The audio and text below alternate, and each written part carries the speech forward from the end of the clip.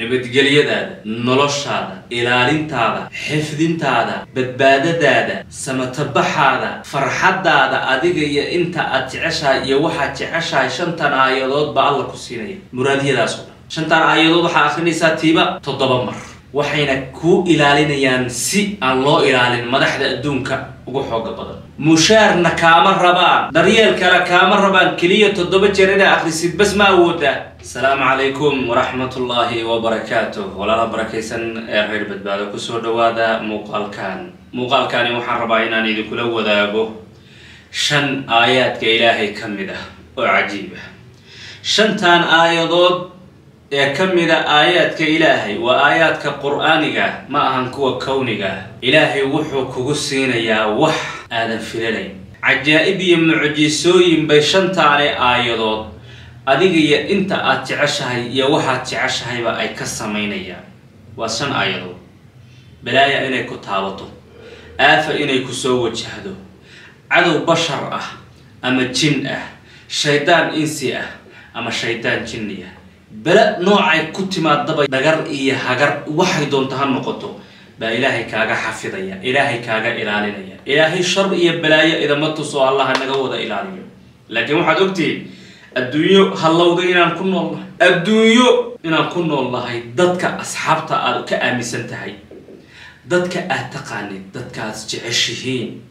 Marka aad ka maqan tahay oo gadaashaada ka hadlay haddaad ogaan lahayd salaanba kamaada qaadeenba ilaa xayawaanka mooyaane. Maadan salaanteen ilaa xayawaan mooyaane. Haddaad og tahay dadka aad asxaabta iyo sadiiqa alla tahay ee aada aaminsan tahay markaad ka maqan tahay say kuu xamanayaan oo kaaga sheegayaan. Marka adduunya halkaasaan marayna adduunyo waxba laysu ogolayn adduunyo aan laysbadbaadinayn adduunyo dulmiga caadaysatay. Baad ku nooshahay. Shartuna waa badanaysaa baryaha waana basharka iyo bini aadamka wuxuu kasbanayo. Marka ilaahay wuxuu kaaga xafidayaa balaayooyinkaas iyo shartaas ilaahay balaaya namad nama wada tuse shantan aayadood waxay ku kala jiraan.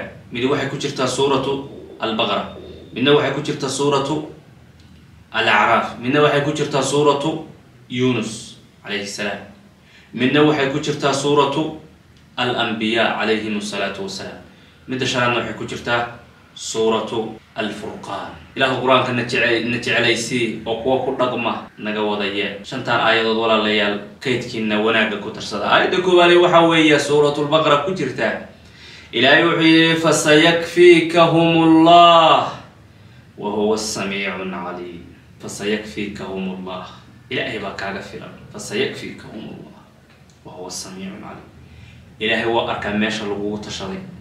Ilaahay waa arkaa sharta iyo dhagarta soo socota ilaahay waa arkaa balaayooyinka wahuwa samiicun caliim waanu cilmi leeya ilaahay baa kaaga filan. Aayadda labaad ee suuratu alacraaf ku jirta waxaa weeye fawaqaca alxaqu wabatala ma kanuu yacmaluun fagulibuu hunaalika wanqalabuu saabiriin. Ilaahay wuxuuna leeyahay xaqii baa yimid oo dhacay.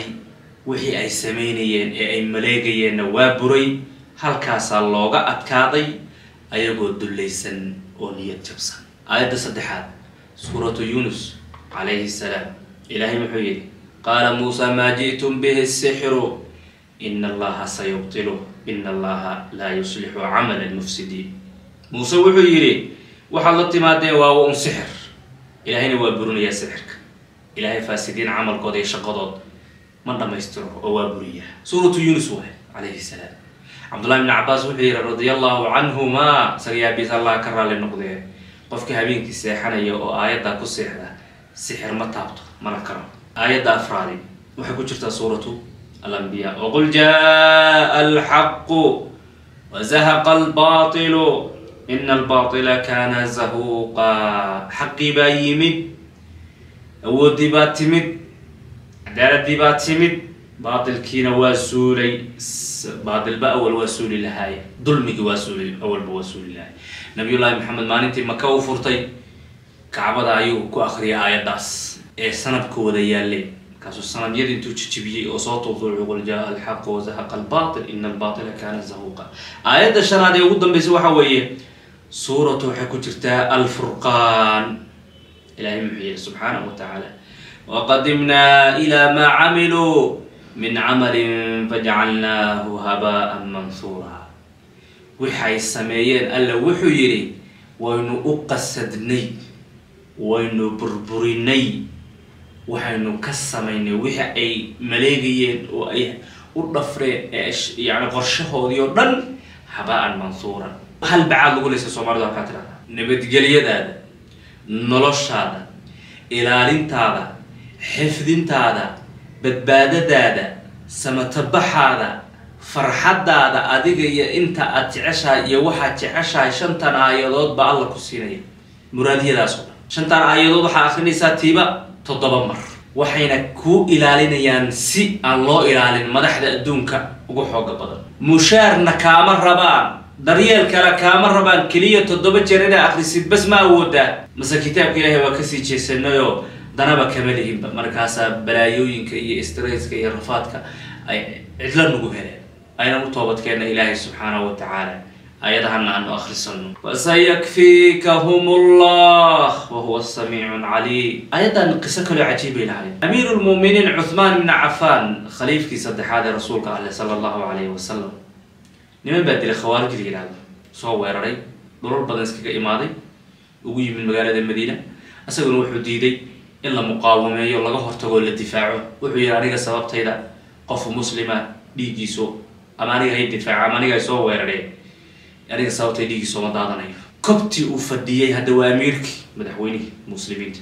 Kabti uu fadhiyey bay ugu tageen markaasay ku dileen. Dhiiggiisii daahirka ah sharafta badnaa musxafkuna akrinaya markaas kitaabka ayuu hayay. Aayaddan ayuu ku dulnahay fasayakfikahum llah kifaayadaani keliya ma ahan adduunyo ha u qaadan oo bas.